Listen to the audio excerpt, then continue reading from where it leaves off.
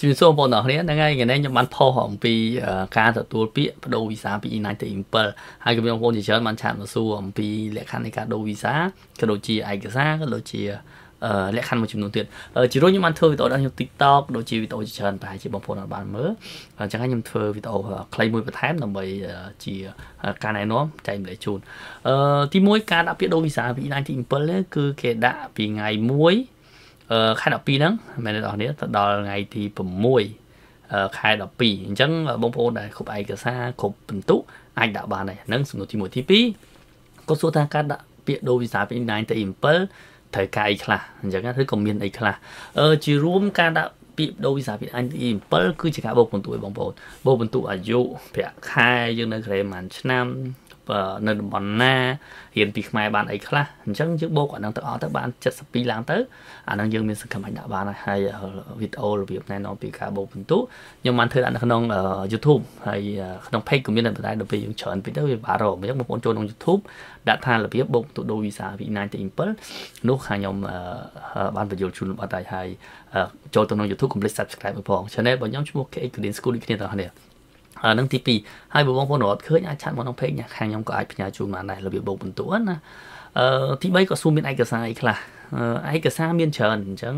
បើសិនជាបងប្អូនត្រូវការអាចឆាត់មកខ្ញុំនឹងផ្ញើឈ្មោះឯកសារជូនបើសិនជាបងប្អូនចង់រៀបឯកសារខ្លួនឯងតែបើសិនជាបងប្អូនជួលមេធាវីឬក៏តកែរៀបឲ្យអាហ្នឹងគាត់ទេទៅខាង1345ខាង1345គេនឹងផ្ញើឈ្មោះឯកសារមកបងប្អូនក៏អាចទេទៅបានតែចុចលេខ1345បន្ទាប់មកចុចលេខ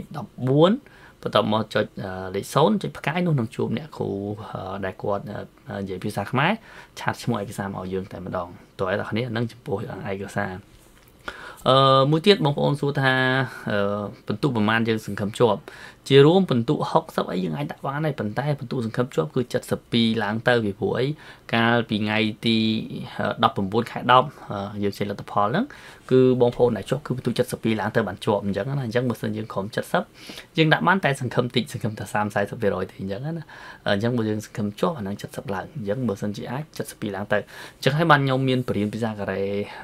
អនឡាញជាវីដេអូដើម្បីជំនួយបងប្អូនព្រោះភាសាកូរ៉េយកបាន25បន្ទុកទាំងគ្នាអញ្ចឹងបើបងប្អូនបូកបន្ទុកលក្ខខណ្ឌផ្សេងៗបាន50ទៅរៀនយកភាសាកូរ៉េ25ទៀតគឺអាចដាក់ពាក្យដូរវីសាបានហើយអញ្ចឹងការដូរវីសាវាមិនពិបាកពេកបើមិនយើងព្យាយាមប៉ុន្តែបើយើងអត់ព្យាយាមអាហ្នឹងរៀងពិបាកតិចពូបងប្អូនមួយចំនួនគាត់ថាហោរៀនកូរ៉េពិបាកអឺមួយទៀតឆ្លៀកកានេះខ្ញុំណែនាំសភៅសភៅនេះសម្រាប់រៀនដូរវីសាវាជួយផ្នែកពាក្យនិងវេយ្យាករណ៍ហើយឥឡូវខ្ញុំមានសភៅថ្មីមួយទៀតសភៅនេះ ព្រោះបងប្អូនប្រឡងធ្លាក់កម្រិតតាមច្រើនអញ្ចឹងណាហើយក៏មានបងប្អូនដែលប្រឡងចូលជាតិច្រើនអញ្ចឹង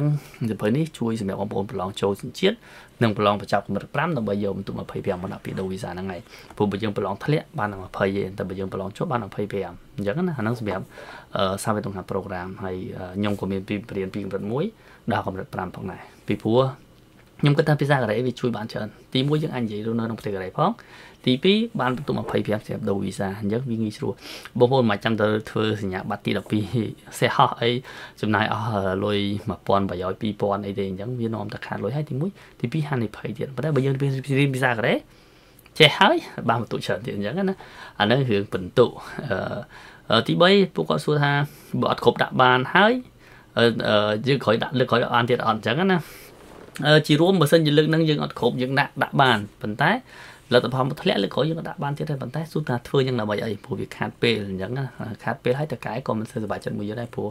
យើងត្រូវយកឯកសារមួយចំនួនពីតកែទៅដាក់ដែរអញ្ចឹងណាអញ្ចឹងអានឹងវាជាបញ្ហាតើអ្នកគ្នាអឺហើយក៏មានបងប្អូនមួយទៀតក៏សួរថា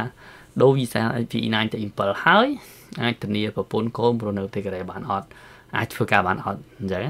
អឺជារួមបើសិនជាបងប្អូនដូរវីសាពី9ទី7ហើយយើងអាចទៅនេះកូនប្តីប្រពន្ធ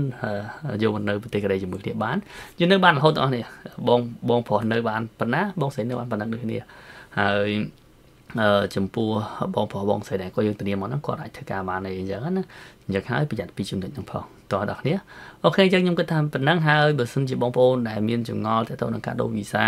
ចង់បានឈ្មោះឯកសារបងប្អូនអាចទេទៅលេខ1345នឹងខ្ញុំប្រាប់មិញនោះអ្នកគ្រូនឹងផ្ញើឈ្មោះឯកសារមកតាមសារទូរស័ព្ទមកអញ្ចឹងបងប្អូនអាចផ្ទៀងមើលឬក៏ឲ្យយកឲ្យតកែតកែរៀបចំតាមហ្នឹងទៅគឺបានហើយតើដល់គ្នាពីព្រោះឯកសារវា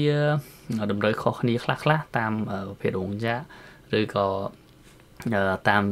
លក្ខខណ្ឌរបស់បងប្អូនបងប្អូនខ្លះប្រាក់ខែច្រើនអញ្ចឹងគាត់ត្រៀមតិចតួចក៏បានដែរប៉ុន្តែបងប្អូនប្រាក់ខែតិចត្រូវការត្រៀមមកច្រើនអញ្ចឹងបានខ្ញុំថាជាដំបូងបងបន្ទុកសិនទៅហើយបន្តមកខ្វះលក្ខខណ្ឌតិចតួចរៀនភាសាកូរ៉េបន្ថែមសពលុយបន្ថែមអីអាហ្នឹងគឺអាចដូរបានតែម្ដងតើអត់នេះហើយសម្រាប់បងប្អូនដែលត្រូវការសភៅពីរនេះ សភៅប្រឡងជូនជាតិសភៅវេយ្យាករណ៍ដែលរៀនដើម្បីប្រឡងដូរវីសាក៏ដូចជារៀនប្រើប្រាស់ប្រចាំថ្ងៃហ្នឹងអាចឆាន20ខ្ញុំរៀបចំជូនអូខេអរគុណអ្នកនាងមានប៉ុណ្ណឹងហើយបើសិនជាមានសំណួរអីពីក្រោយបងប្អូនអាច comment នៅខាងក្រោមហើយខ្ញុំនឹងបញ្យល់ជូនបន្ថែមអរគុណ